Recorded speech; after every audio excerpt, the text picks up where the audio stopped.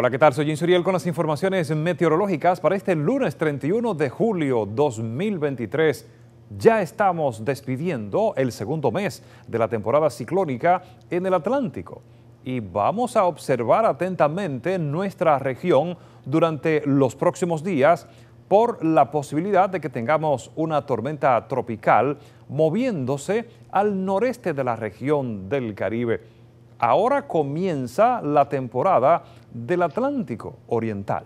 De manera especial, las ondas tropicales que salen desde África empezarán a desplazarse hacia el Atlántico Central y hacia las Antillas Menores, donde podrían encontrar condiciones más favorables y así incrementar su intensidad y convertirse en tormentas y también en huracanes. Es la temporada de Cabo Verde y esta es la temporada más activa para la región del Caribe. Recordemos que son tres meses de actividad por encima de lo normal, agosto, septiembre y octubre, este periodo más activo de la temporada ciclónica en el Atlántico. Y mientras tanto, vamos a darle seguimiento al sol cenital que todavía se encuentra en nuestra región. Hoy le corresponde de manera especial a la isla Saona y será a las 12 y 31 de la tarde que se podrá observar este fenómeno astronómico, el instante sin sombras. En Baní ocurrirá a las 12 y 38 y en Barahona a las 12 y 41 pm. Los experimentos que se han desarrollado para poder identificar con objetos verticales que no se reflejan sombras en ese mismo instante. Y por supuesto, como el Sol se encuentra directamente sobre el firmamento en República Dominicana, las temperaturas seguirán muy calurosas durante los próximos días, una sensación térmica muy elevada en el país. Así que mucha atención.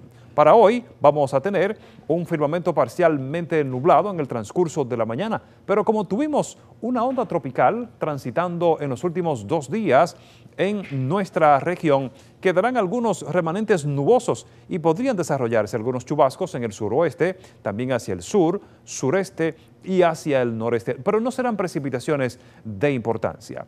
Cerca del mediodía, las condiciones seguirán parcialmente nubladas en sentido general, con la nubosidad cubriendo principalmente el sur y sureste, donde podrían desarrollarse algunos chubascos. Así también hacia el noreste habrá nubosidad y la posibilidad de algunas lluvias ligeras. Después del mediodía y al inicio de la tarde, seguiremos con el panorama parcialmente nublado, esto en sentido general, pero el incremento de la sensación térmica estará presente principalmente porque llegará humedad desde el Mar Caribe. Así aumentará el calor en el territorio nacional. Posibilidad de algunos chubascos hacia el sur, noreste y también hacia el suroeste.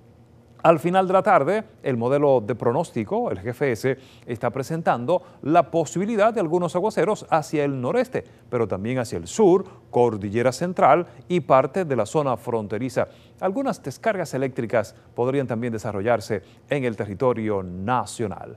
Vamos a ver para la noche que está presentando en nuestro país y el pronóstico prevé la concentración de las mayores lluvias hacia la cordillera central, la zona montañosa, pero también hacia la zona fronteriza, parte del noroeste, algunas comunidades del norte con chubascos aislados, lluvias moderadas con descargas eléctricas en el noreste y también la posibilidad de algunos nublados con chubascos hacia el este del país. Pero vamos a ver qué presenta el panorama meteorológico. Para mañana martes vamos a tener en el territorio nacional más humedad llegando a nuestra región. Es por eso que el modelo de pronóstico está anticipando al final de la tarde y durante la noche la producción de lluvias hacia el sur, sureste, también hacia el noreste, cordillera central, zona fronteriza, noroeste y también hacia la región norte con precipitaciones entre moderadas y fuertes y descargas eléctricas. También las temperaturas van a seguir muy calurosas en el territorio nacional. Para el miércoles el panorama seguirá muy lluvioso, esta vez por la influencia de una vaguada ubicada al norte de la región del Caribe y por lo tanto hacia la región del Cibao estarían desarrollándose las mayores lluvias, especialmente la cordillera central, la zona fronteriza, noroeste, también hacia el norte con descargas eléctricas, hacia el noreste y hacia el sureste podrían desarrollarse algunos aguaceros esporádicos. Y para el jueves, el panorama seguirá bajo ese mismo patrón meteorológico, bajo la influencia de la vaguada y el viento húmedo. Es por eso que al final de la tarde y durante la noche el modelo prevé la continuación de estas lluvias hacia el sureste, hacia el sur, sobre todo hacia la cordillera central y zona fronteriza, así también hacia el norte. Algunas comunidades del noreste podrían desarrollar precipitaciones entre moderadas y fuertes. Y vamos a finalizar con las informaciones astronómicas para hoy. El Sol, con su salida a las 6 y 17 de la mañana, se ocultará esta noche a las 7 y 15 pm. Tendremos 12 horas con 58 minutos de luz solar.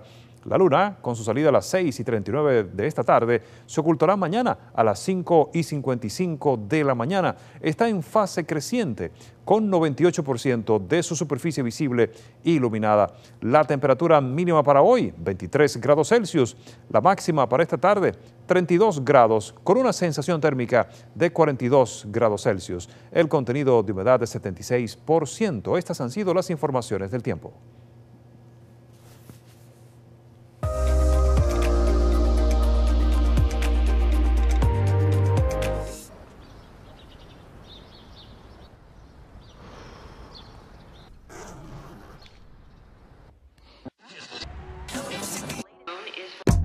A ritmo de la ciudad.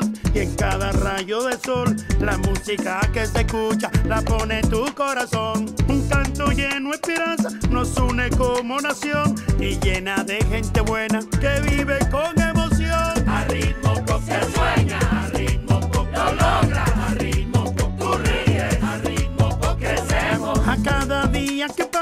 ponle toda tu pasión verás cómo estando unidos el futuro será mejor a ritmo con se puede a ritmo con vivimos a ritmo con celebro a ritmo con lo haremos Cada paso que damos juntos marca el ritmo para construir un mejor futuro para todos. Popular, a tu lado siempre.